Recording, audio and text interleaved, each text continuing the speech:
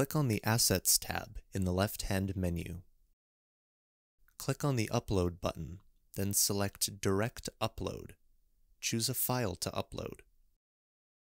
Give it a name, then give it a description. Choose a folder for it. Now find the ID of the asset you wish to parent to and enter it in the box. Click on Upload. Now, if you click on the information for the child asset, it will show its parent under the Related tab.